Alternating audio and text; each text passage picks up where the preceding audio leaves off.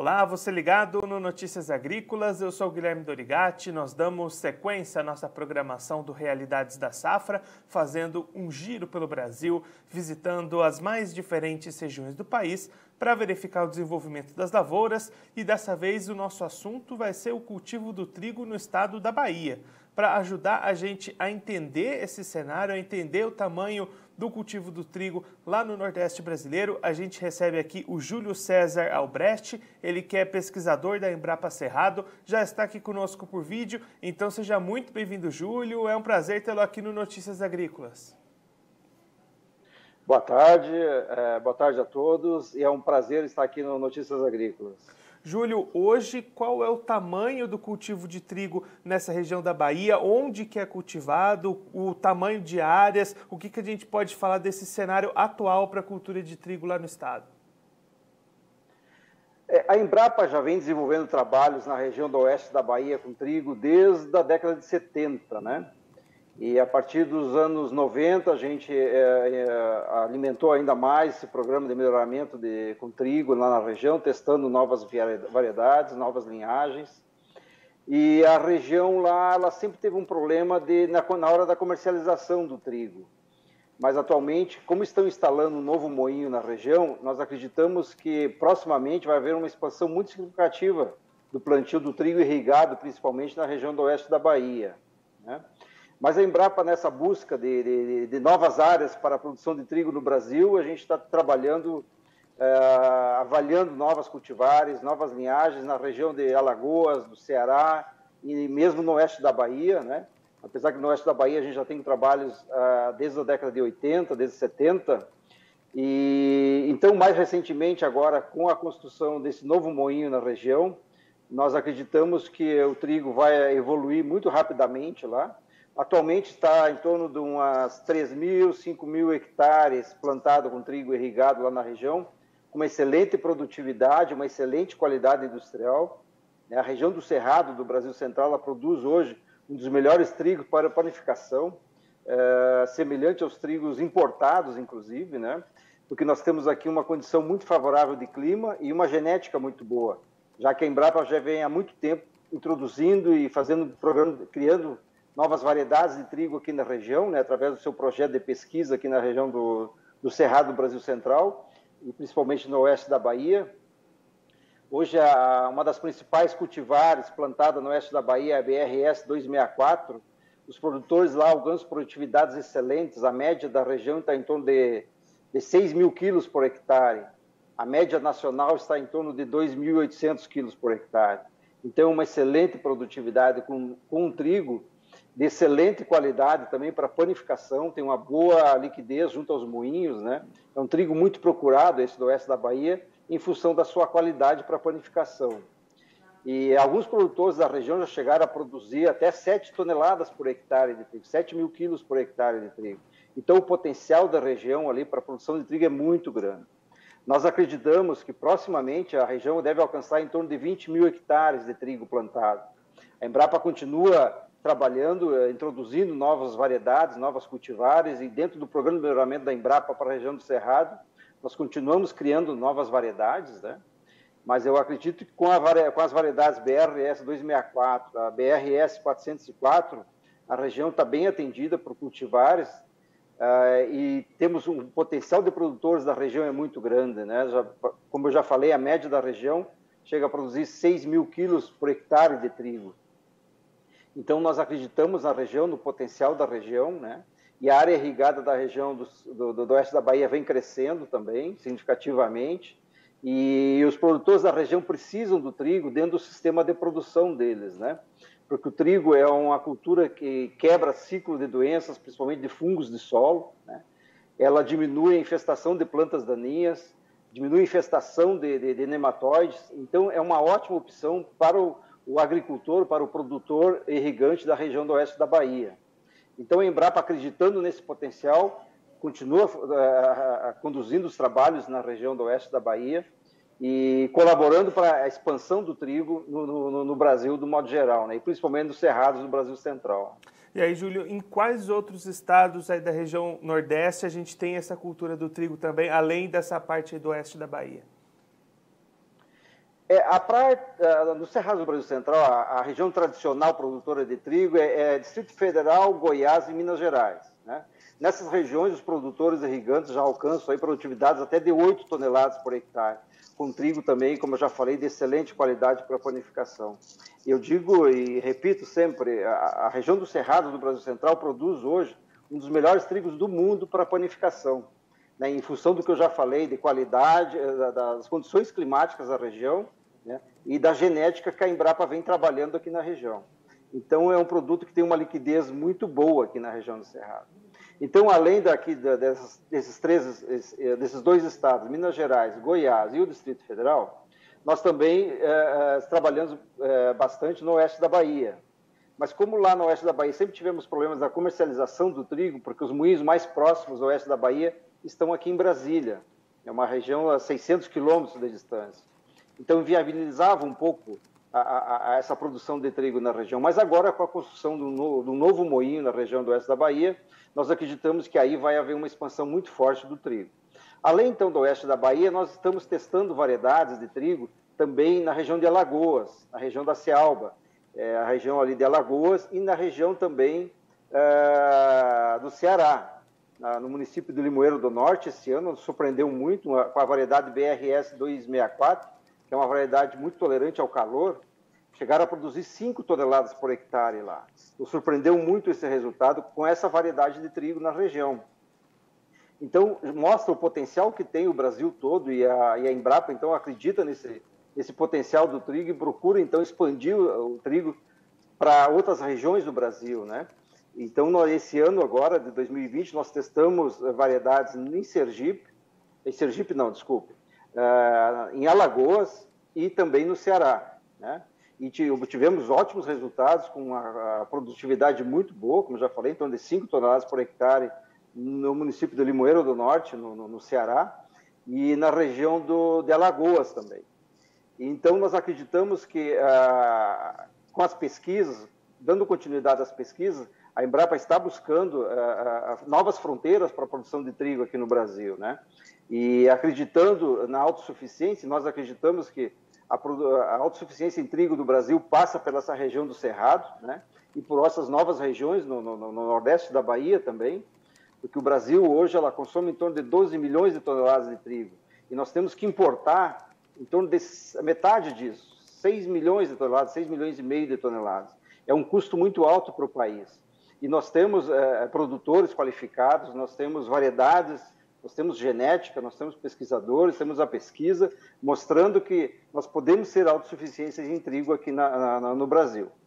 Então, acreditando nisso, nós estamos buscando novas fronteiras para o trigo, estamos tropicalizando o trigo, né? como houve a história da soja que veio do sul do país para o Cerrado, nós estamos tropicalizando também o trigo agora, né? já com ótimos resultados e acreditamos ainda numa expansão bem maior do trigo eh, nos próximos anos e nessas novas regiões, aí, como eu já falei, no, no, no, no, Ceará, em Alagoas, no oeste da Bahia. Vamos testar agora também no próximo ano, já no Maranhão, né? na região do Alto Parnaíba, na, na, no Maranhão. Vamos testar essas variedades também, que nós já testamos no Ceará e em Alagoas. E acreditamos que aí, a partir daí, o trigo vai se expandir rapidamente aí pelo Brasil afora, né? E aí, Júlio, você já comentou nessa a, o papel do trigo também no sistema de produção do produtor da região. Eu queria que você entrasse um pouquinho mais nesse assunto. Quais são os benefícios de incluir a cultura do trigo aí no sistema de rotação do produtor?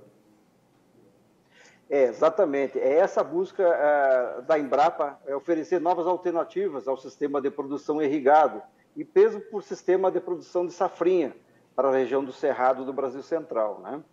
Então, com isso, como o trigo é uma gramínea, e como eu já falei, o trigo ele, ele diminui muito, reduz bastante as doenças de solo, principalmente com aquelas culturas leguminosas, como a soja, como o milho, que é uma gramínea, que multiplicam esses fusários, doenças de solo que são muito graves aqui na região, e com o passar dos anos vai diminuindo a produtividade dessas culturas.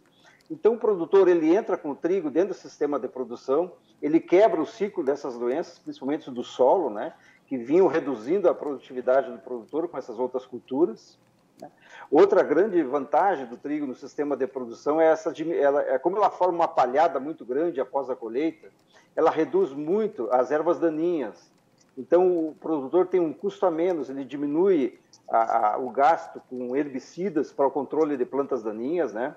Porque o trigo, então, com essa palhada, ele reduz a infestação de plantas daninhas na, na lavoura e, na, e na, na, na cultura seguinte, né? Outra grande vantagem do trigo aqui na região é que muitos produtores buscam o trigo por isso, em função do aumento de nematóides que está havendo, a infestação de nematóides em várias áreas, de, em vários solos aqui da região do Brasil Central.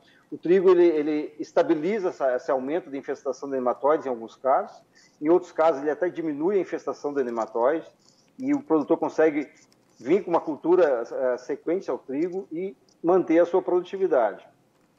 Então, essas são grandes vantagens do trigo dentro do sistema de produção. O produtor hoje na região do Cerrado, ele só não planta mais trigo porque ele tem alguma dificuldade, às vezes, ele não tem a mesma facilidade na comercialização, como tem a soja, como tem o milho, né? O produtor só levanta o telefone e comercializa facilmente essa, essas culturas. O trigo, o produtor tem que se aproximar do moinho, conhecer o moinho, que é o comprador do seu produto. E para que o produtor plante a variedade certa, dentro daquela demanda do moinho da região, ele tem que se aproximar do moinho, conversar com o moinho, ver quais os interesses de, de qualidade do trigo que o moinho deseja, né? E ele plantar a variedade certa para ter uma facilidade na comercialização. Como na região estão sendo instalados novos moinhos, nós acreditamos então que o trigo aqui vai se expandir rapidamente, né? Justamente por essa demanda que existe dos próprios produtores de colocar o trigo dentro do sistema de produção, até para voltar a viabilizar outras culturas. Nós temos um exemplo aqui na região do Padef, aqui próximo a Brasília, que os produtores irrigantes vinham produzindo muito feijão, feijão após feijão, ano após ano, porque o feijão era uma cultura que dava um retorno econômico muito alto ao produtor irrigante. Só que com isso começou a haver uma grande infestação de doenças do solo aqui na região. E o produtor de feijão começou a reduzir as produtividades de 40 a 50 sacos por hectare que o produtor produzia aqui na região, ele já estava produzindo 15, 10 sacos por hectare em função da infestação de fusários no solo. À medida que o produtor aqui conheceu o trigo, introduziu o trigo dentro do sistema de produção e começou a fazer a rotação do trigo com feijão, ele melhorou a produtividade do feijão. Ele voltou a, a produzir 40 a 50 sacos por hectare, como ele produzia em anos anteriores. Então você veja bem como é importante uma gramínea dentro do sistema de produção com leguminosas, fazer rotação de cultura com leguminosas, por exemplo. Então, mesmo o trigo dando um retorno econômico às vezes menor que feijão, ele vale a pena o produtor plantar o trigo em determinados anos, em rotação de cultura, para voltar a viabilizar a cultura e manter o seu sistema de produção saudável. Não infestar a sua área com doenças, com plantas daninhas, com nematóides, e depois vem ver a, a, redução significativa de produtividade. Então, o trigo a, ele ajuda muito o produtor dentro do seu sistema de produção, manter saudável esse sistema de produção e manter o retorno econômico tanto do trigo como de outras culturas. Esse ano, especificamente, o trigo está dando um retorno econômico muito grande aos produtores, porque como o dólar está muito alto, o Brasil, para importar o trigo, ele está muito caro. Então, os, os moinhos da região estão pagando bem pela tonelada do trigo aqui na região. Então, ele está dando um retorno econômico hoje até melhor que o feijão, melhor até que algumas hortaliças. Então, essa é uma outra grande vantagem para a expansão do trigo aqui na região, que tem motivado bastante os produtores, né? E nós temos produtores qualificados e produzimos um trigo aí de excelente qualidade. Júlio, muito obrigado pela sua participação, por ajudar a gente a entender um pouco melhor, conhecer esse cenário da cultura do trigo nessas regiões do Brasil. Se você quiser deixar mais algum recado ou uma mensagem final para aquele produtor que acompanha a gente, pode ficar à vontade. É, eu, eu até parabenizo esse ano os produtores, porque a gente tem visto ótimas produtividades esse ano aqui na região de Cristalina de Goiás, o produtor Paulo Bonato ele bateu o recorde de produtividade, chegou a colher 140 sacos por hectare de trigo, esse é um recorde de produtividade, do trigo com ciclo de 112 dias.